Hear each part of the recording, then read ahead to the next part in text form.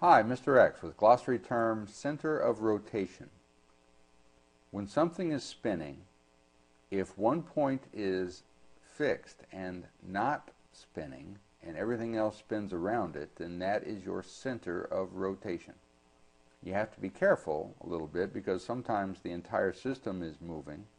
Sometimes you don't trace out a perfect circle. Sometimes it's something more like a cycloid or cardioid. But in general, the center of the merry-go-round, the very center point around which the rest of the carousel or merry-go-round spins, is the center of rotation.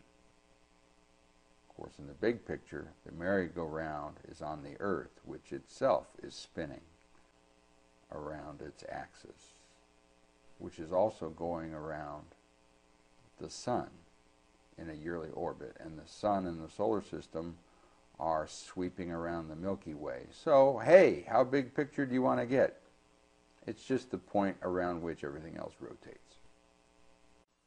Mr. X takes the mystery out of math at MrXmath.com.